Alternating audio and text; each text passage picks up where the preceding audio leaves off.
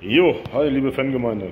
Ähm, gerade wurde ich darauf aufmerksam gemacht, dass es hier eine, eine, eine, eine ja, Vermittlungsagentur gibt, die ähm, Wohnungen anbietet. Nennt sich Alanya Premium.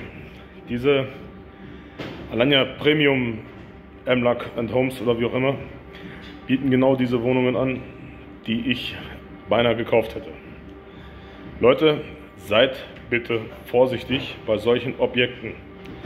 Wenn euch diese Wohnungen angeboten werden sollten, verlangt neben dem Tapu auch das Iskan dazu. Ihr habt alle kein Strom und Wasser da oben für sechs Monate. Bitte achtet auf diese wirklich wichtigen Dokumente. Die Wohnungen werden nicht umsonst so günstig angeboten. Ja? Ab 21.500 Euro. Ihr seht, das lag genauso in meiner Preisklasse auch. Und von daher möchte ich euch alle nur warnen. Es bleibt natürlich im Endeffekt euch überlassen, ob ihr das wollt, eventuell diese Wohnungen nur als Ferienwohnung im Sommer dann zu vermieten oder sonst was.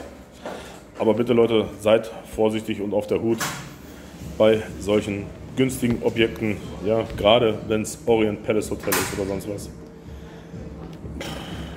Ich weiß, ich werde bestimmt Ärger kriegen, wenn ich das jetzt so öffentlich mache. Aber ja, mich hatten ja viele gefragt, wie sieht es denn aus? Warum, weshalb, weswegen hast du das so gemacht? Ja, es war halt so, dass ich äh, im Januar in Deutschland äh, eine Wohnung gesucht hatte hier in der Türkei und über dann darauf aufmerksam geworden bin, dass ähm, ja, dort günstige Wohnungen im Angebot sind. Daraufhin habe ich dann äh, den, ich sag mal, den, den, den äh, Inseratsaufgeber angerufen über einen türkischen Kollegen und der sagte, ja, ist alles gut, ist alles schön. Daraufhin haben wir uns dann jetzt hier im äh, Juli getroffen, beziehungsweise im Juni getroffen und er hatte mir auch also was alles erzählt.